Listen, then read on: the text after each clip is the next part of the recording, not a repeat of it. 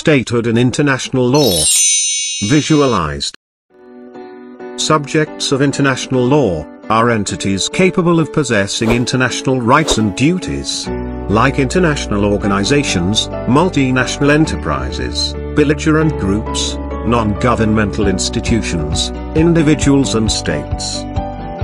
States in particular retain a special importance in the global legal system as the main subject of the international community. In order for an entity to be called a state, it should meet five conditions as follows. First, the entity must have a defined territory, which covers the whole geographical area, including the land, airspace, and the sea.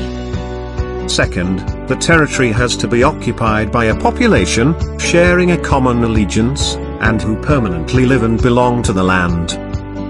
Third criteria for statehood, is the existence of a government, which alongside the requirement of a permanent population, and a defined territory, qualify a state as a subject of international law.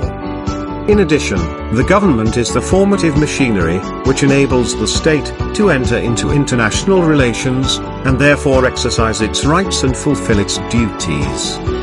The fourth element of statehood is the state capacity to enter into relations with other states, which is more a consequence of statehood, rather than a criterion for it.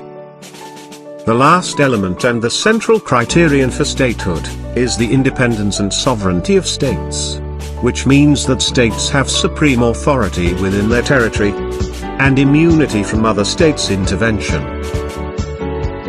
These five elements constitute the core of the concept of statehood, the essence of the special position of states in international law. However, recognition of other states is not considered a statehood requirement, as an entity is not a state because it is recognized, but it is recognized because it is a state.